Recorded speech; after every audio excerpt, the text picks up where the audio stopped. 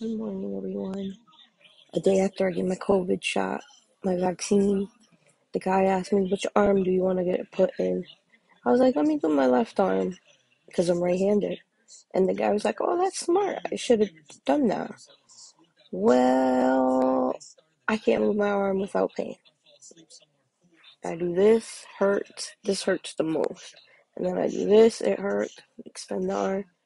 Everything freaking hurts. It feels like a charley horse. You know when you get your knocked Oh my god, that's how it feels. It's so painful.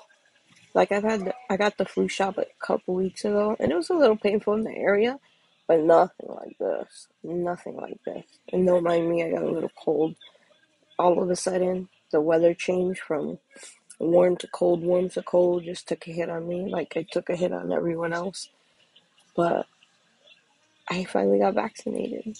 And it took me so long to get vaccinated because I do have a kidney disease, a nerve disease. I'm immune compromised, and my doctor wanted more info before he allowed me to get it.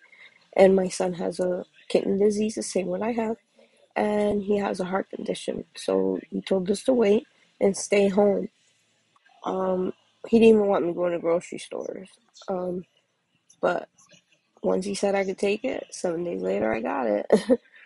um, I took it very serious because the COVID is vaccine is gonna help me if I get COVID because my immune system is so shot that they think COVID will hit me so hard that I could die. So I took it serious and I'm I got it. Then in December I get my second one, so I I'm super happy I got it. My son got his too, but my arm hurts like a bitch, like a fucking bitch. Like it's so freaking painful, and people that know me, the pain I've dealt with with all my illnesses and surgeries and stuff, they would uh, they'd be like, "Damn, she's been through all that pain, and this is bothering her. It must be painful."